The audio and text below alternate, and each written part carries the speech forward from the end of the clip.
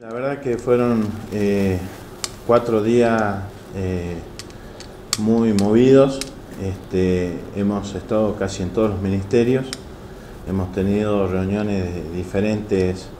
eh, temas, siempre buscando el beneficio y dejando proyectos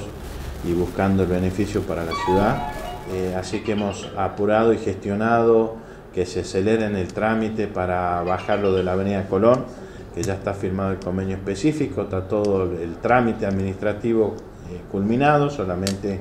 falta que se haga el desembolso, que lo venimos diciendo ya hace más de una o dos semanas, eh, que hemos apurado eh, para que bajen los primeros fondos los primeros días de enero. Este, a su vez hemos entregado en deporte también el recambio del piso del ministerio, que todos los palpareños sabemos que está eh, muy deteriorado, eh, que se hizo un recambio, pero se hizo un recambio eh, a medias tintas, como uno lo dice, en la gestión anterior.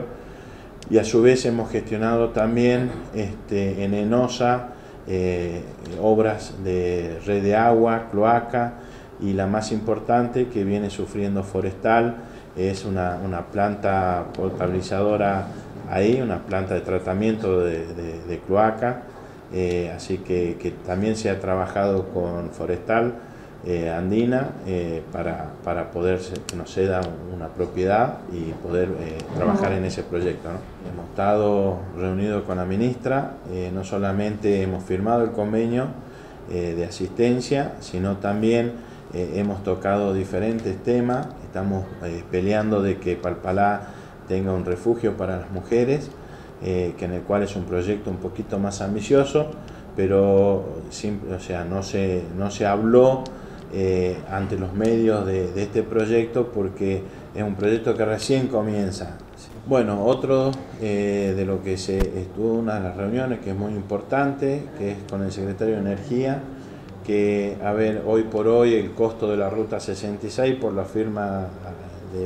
del que estaba anterior a mi persona se hizo cargo del alumbrado de la Ruta 66, cuando eso corresponde a vialidad. Entonces, eh, entiendo que es eh, un bien para, para todos, pero bueno, creo que esas erogaciones tienen que salir del gobierno nacional, no ni del provincial ni, ni del municipal, así que se está charlando, se está eh, buscando que eso sea cargo nación, nación así que también se, se habló de eso. Estuvimos con Ferraresi, Ferraresi es el director de, Hábitat eh, y Vivienda, que en el cual hemos planteado varios proyectos y hemos quedado de acuerdo en trabajar eh, en conjunto para darle solución habitacional a la ciudad de Palpalá.